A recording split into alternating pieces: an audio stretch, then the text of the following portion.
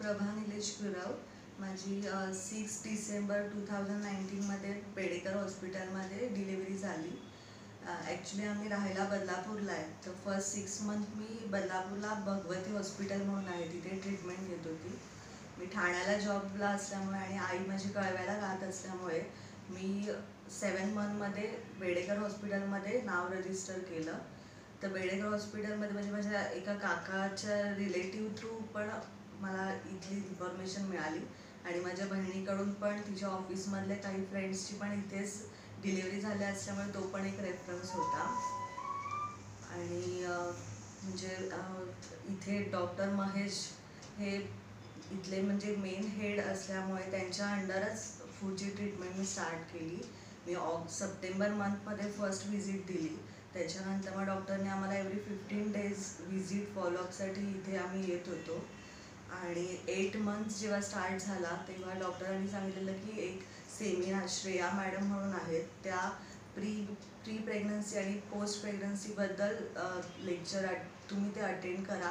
ते तुम्हाला खूप हेल्पफुल पडेल. तर मी ते सिक्स्टीन ऑक्टोबरचं एक लेक्चर अटेंड केलं होतं. त्या लेक्चरमध्ये खूप इन्फॉर्मेशन जी आता उपयोगी पडते आहे. आणि माझं जेव्हा एट मंथची सोनोग्राफी झाली तेव्हा ॲक्च्युली माझं बाळाची पोझिशन ही ब्रीज पोझिशन आहे असं मला समजलं. तेव्हा थोडं टेन्शन आलं होतं. पण महेश सरांनी खूप म्हणजे एकदम सांभाळून व्यवस्थितरित्या आम्हाला एक्सप्लेन केलं की हे सगळं नैसर्गिक असतं तर ते कधीही पोझिशन चेंज होऊ शकते.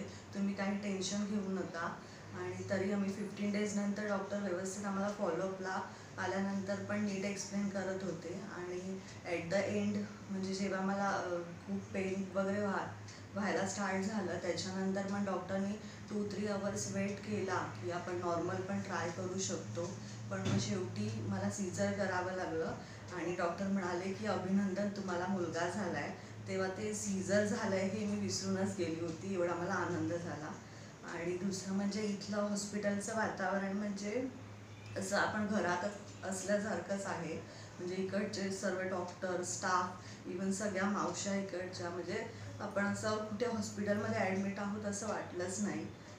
सेकंड म्हणजे इकडचं जेवणाची पद्धत ही प्रॉपर घरगुती आहे. म्हणजे असं एकदम आणि जेवण पण टेस्टी आहे खूप. आणि इकडच्या मावश्या पण खूप हेल्पफुल आणि म्हणजे असं सिस्टर लोक वगैरे पण म्हणजे कधी गरज लागली तर लगेच हेल्पसाठी येतात. असं.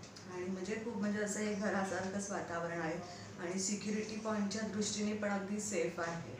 असं आणि इथे रिलेटिव्ह जेवढी पेशंटची काळजी घेतली जाते तेवढीच त्याचे रिलेटिव्ह जे येतात त्यांची पण म्हणजे ते इथे त्यांची पण व्यवस्थित सोय आहे. जेवण जेवण पण त्यांना सुद्धा प्रोव्हाइड केलं जातं. आणि माझे जे रिलेटिव्ह भेटायला आले ते सुद्धा म्हणाले की हॉस्पिटल म्हणजे एकदम क्लीननेस आणि व्यवस्थित छान सगळ्या रिलेटिव्हना पण हे हॉस्पिटल आवडलं. आणि माझं फर्स्ट बच्चू असल्यामुळे आणि म्हणजे फर्स्ट एक्सपिरियन्स हा मला खूपच चांगला आहे. तेच आम्ही काय म्हणजे ठाण्यात राहत होतो लहानपणापासून बेडेकर असं राहण्याचा रस्ता हाच होता. नाव ऐक ऐकिवात होतं.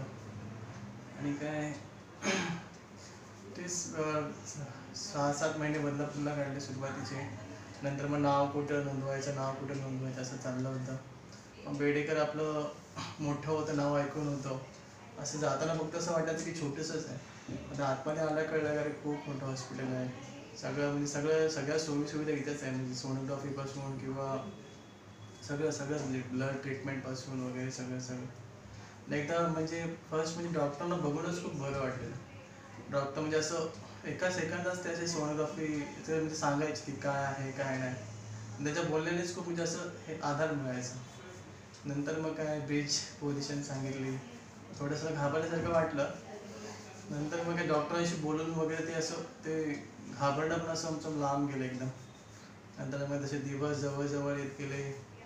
नंतर मग ते अचानक तिचं रात्री झालं. म्हणजे रात्री तिला त्रास व्हायला लागला पाणी खूप हे गेलं वाया गेलं म्हणजे व्हावं लागलं. मग काय करायचं? मग आलं डॉक्टर म्हणजे रात्री सुद्धा आम्हाला घेतलं म्हणजे. डॉक्टर सुद्धा इथं अवेलेबल असतं. पण डॉक्टर वरतीच राहतात त्यामुळे काही टेन्शन नाही. ते एक फायदा आहे म्हणजे हॉस्पिटलला म्हणजे कधी आलं तरी आपलं म्हणजे व्यवस्थित सपोर्ट मिळू शकतो.